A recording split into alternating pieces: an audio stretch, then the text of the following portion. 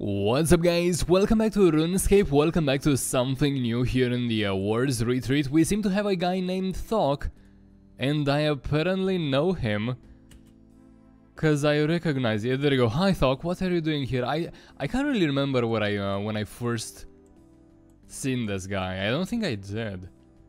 I've returned in February. I don't think we've met before. Anyway, so Thok is holding an event, he says to help all you scrawny humans be as a good warrior as Thok is. That sounds good, but not a better warrior than Thok. No one can be better warrior than Thok, yeah, of course. So let me check the uh, specifics of this event. This is gonna last for the uh, next, well, roughly two weeks. Up until um, 8th of uh, October. During Thok's smashing buffs, a variety of combat related buffs are active. Select the options to see more information on each buff. Throughout the event, free Elder Overload boosts are also available from the Elder Overload cauldrons in War's Retreat. Okay. If you have the ability to craft Overload Salve potions, you will instead gain the effects of an Elder Overload Salve from the cauldrons. Okay, sure. I don't think I have the uh, that ability, so I'm not gonna be worried too much about it. This buff is not available for Iron Man, rip that. The event will run for two weeks in total. Good, so are these the, uh, the, the, the, benefits, I suppose? So you seem to have free deaths. If you die, you'll uh, not have to pay to reclaim your items throughout the uh, duration of the event. Members will also respawn... my neck. Members will also respawn at the nearest hub, it says, instead of Death's office. Nearest hub, what, like Lumbridge? Stuff like that? Interesting. That sounds fun.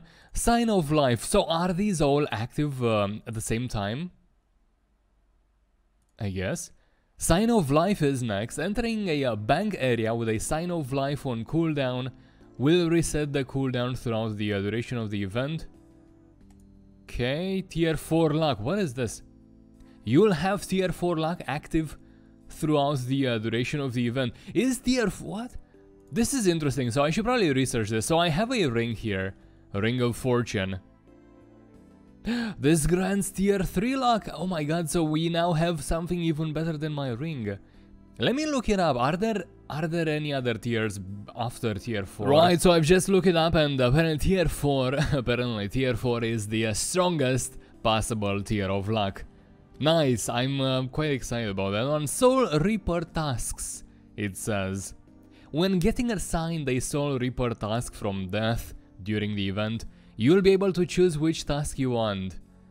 Completing a Soul Reaper task during the event will grant double the experience, uh, double the uh, expected Reaper points. Okay, Slayer tasks. When getting assigned a Slayer task from any Slayer master during the event, you will be able to choose between two tasks. Sure, and finally, combat auras. When using a combat, uh, combat aura during the event, it will have no cooldown once it ends. Okay, so let me check. I, I got a few things I want to check. First of all, drink from Elder Overload Cauldron. Yeah, let's try this. Channel Adrenaline... Were these before? No, so the cauldrons are new. Oh. Elder Overload active. Oh my god, wow, nice. this is a nice perk. This is lovely. Wait. Are the stats gonna keep... Uh, you know, it may sound funny, but I've never drank an overload, I, I believe, on uh, on this account, so... Not entirely sure, will the stats stick at 120 without dropping as compared to regular potions? I would assume so. Oh my god, this is this is quite impressive for myself. First time I'm uh, experiencing this, and what is this? I don't think this is quest. Yeah, you can't. You haven't killed. Yeah, I'm not. I'm a skiller at heart, guys. I'm not. Oh no no no no! They they keep dropping. Can I drink as many times as I wish? Yeah. So the stats will um, eventually drop. That's fine.